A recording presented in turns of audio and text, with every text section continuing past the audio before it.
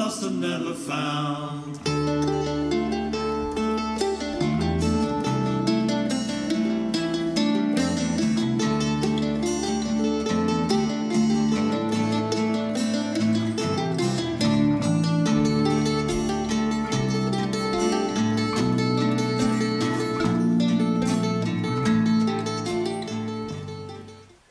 Uh, June the 6th, 2015, and today we're looking for Wood Avens.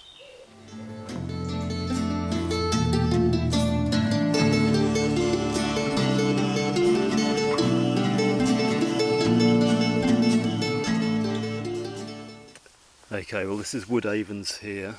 Um, it's a member of the rose family and it grows from a rosette in the ground with these multiple stems.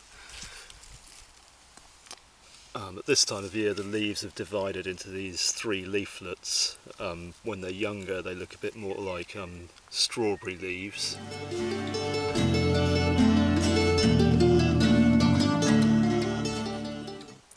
And it has these yellow flowers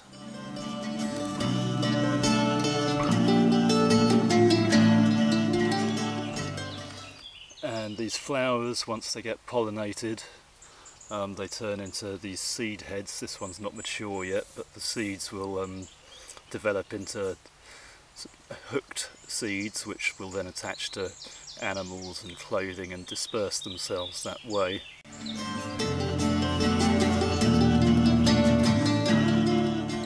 And it's a perennial so it grows all year round and um, you'll find it growing in rosettes with sort of larger leaves than this in the winter, but you'll see it quite often in the winter.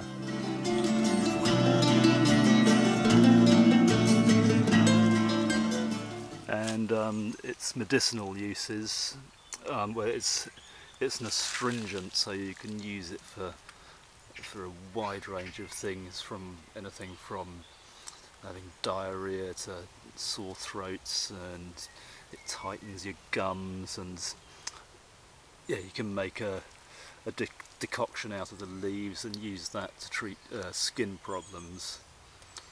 And um, the roots also contain stuff called eugenol, which is the same thing you find in cloves, and that's got antiseptic and sort of local anaesthetic properties.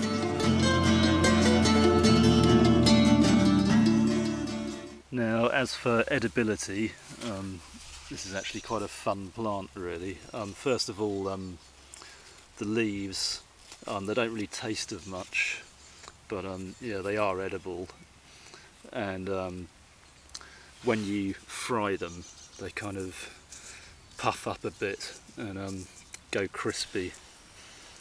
okay, so as requested, a couple of people have asked me to demonstrate cooking with um, various wild foods. So um, I've got a pan of hot oil here and some wood avens leaves here, and um, yeah, I'll show you how they crisp up quite nicely when you fry them. So just grab these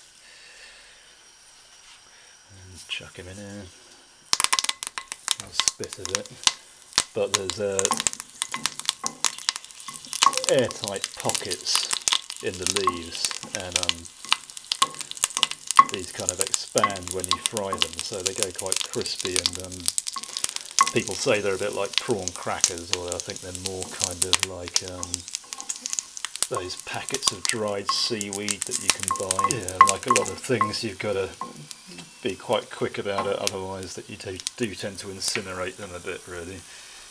And yeah, you can kind of see there's pockets of air, pockets of trapped air in that leaf, and um, yeah, it's quite, it's quite crispy. It's um, yeah, quite nice as a as a sort of little savoury snack. A bit of salt on there or something. And another name for wood avens is um, clove root, and um, you can probably guess why because the roots taste of cloves. As I said, they've got eugenol in them, so they've got the same property as cloves. There's a local anaesthetic and an antiseptic. But um, yeah, it's quite surprising when you, you crush the roots and smell them and they really do smell of cloves and you can use them in cooking in the same way you would cloves. And I'm just in the garden now, uh, so I can dig some up, showing some roots. And um, so yeah, these roots aren't very substantial, um, and this time of year in the summer, the plant's putting energy into growing and producing flowers and seeds. But um, yeah, come the winter, the, there'll be more energy in these roots and they'll be bigger and it's best to gather them between winter and spring. The roots can be dried and kept for storage, but they need to be dried quite carefully and kept in an airtight container, otherwise they'll lose their flavour. So there you have it, uh, wood avens or herb bennet or clove root. Um, yeah, medicinal plant and a good fun edible as well.